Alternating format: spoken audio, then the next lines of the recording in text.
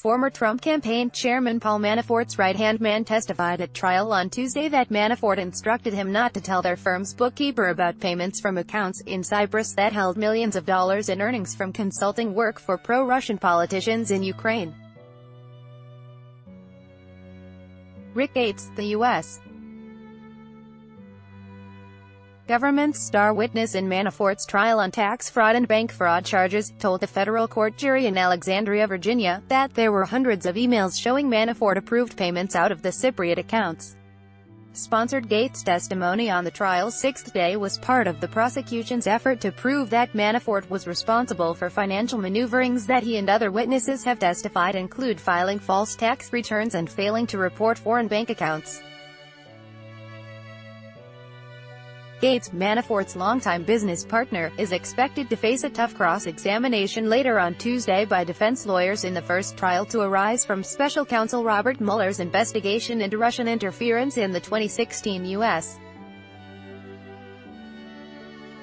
election. The Kremlin denies election meddling. While outside the scope of the trial, Mueller is also investigating whether Trump campaign members coordinated with Moscow, an allegation President Donald Trump denies. Manafort's defense is seeking to pin the blame on Gates himself, who has acknowledged embezzling from Manafort's firm.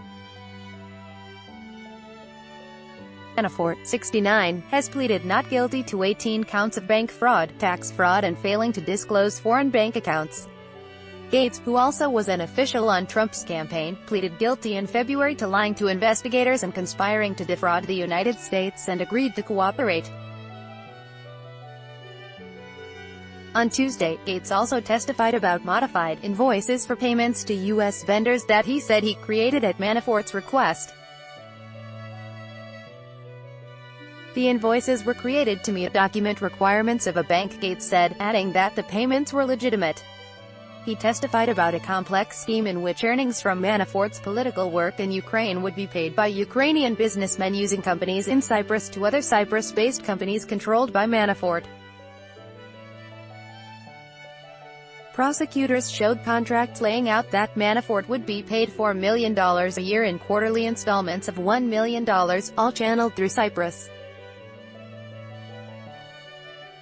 The funds were logged as loans, but Gates testified they were in fact compensation to Manafort.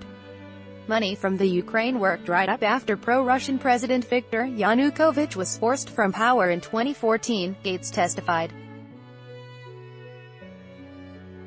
A $1 million payment for work in 2014 was significantly past due, and Mr.